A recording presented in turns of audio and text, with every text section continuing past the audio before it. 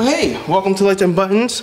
This is part of the Finish My Basement series. If you're a regular subscriber, thank you for watching and welcome back. For those of you who are new, this is a channel that talks about primarily technology, but recently we've been talking a lot about basement construction because, well, I'm finishing my basement.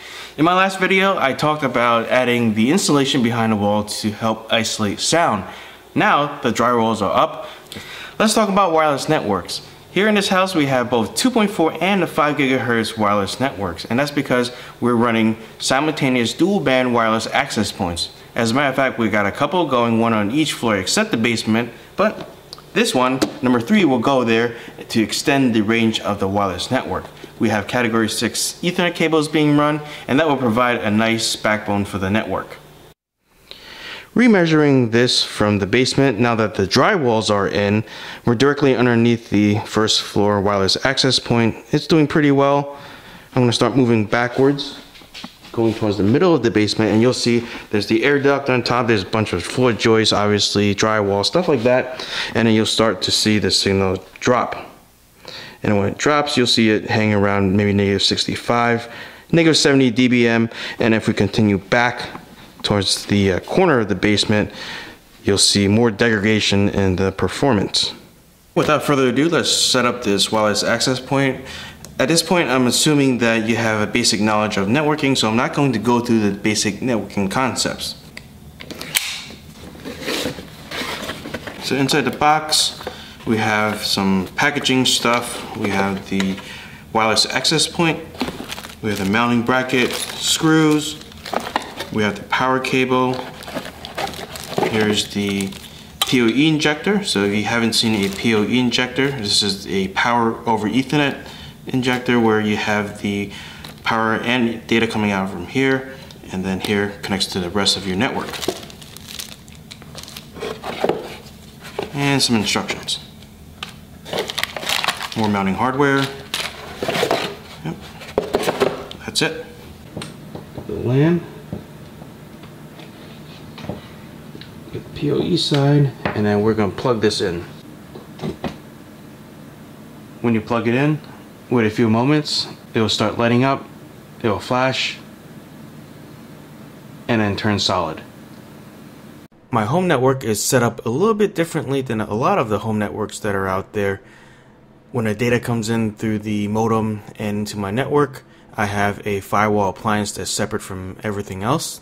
So a lot of your traditional home router features gets offloaded to a different appliance, and in this case, the wireless is handled separately.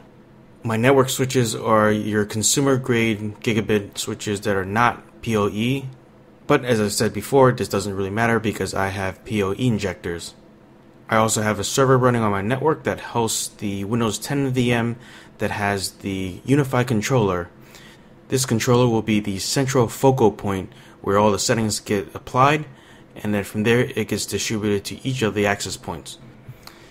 Since my controller is already up and running along with a couple of access points, I'm just adding in a third access point, so I'm not going to go over the initial configuration, but I'll show you a little bit of the provisioning of this new access point.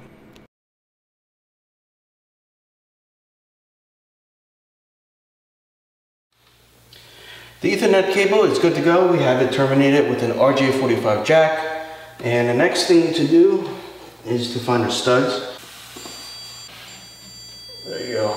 The other one is way farther out. You can just use the anchors to do the mount of the wireless access point. The next step is to measure where we want to drill. To do that, we will take the mount off from the wireless access point. We will mark where we want to drill the holes and then put the anchors in. When measuring, you want the U side logo facing towards you, the grid side facing the ceiling, and then this tab would be the opposite of where the cable is running from. And when you align it, you want to have 25 millimeters distance between the center of this hole and where your cable is coming from, or about an inch. Actually, that is like an inch. Um, and then once you're done with that, go ahead and mark your drill points.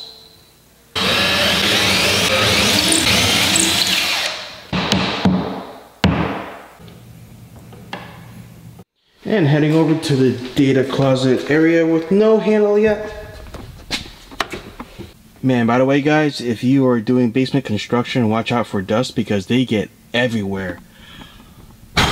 Oh, bad idea. Power indicator is on for the PoE injector. Don't get these mixed up. We have the local area network here. And then the power over ethernet here on the left.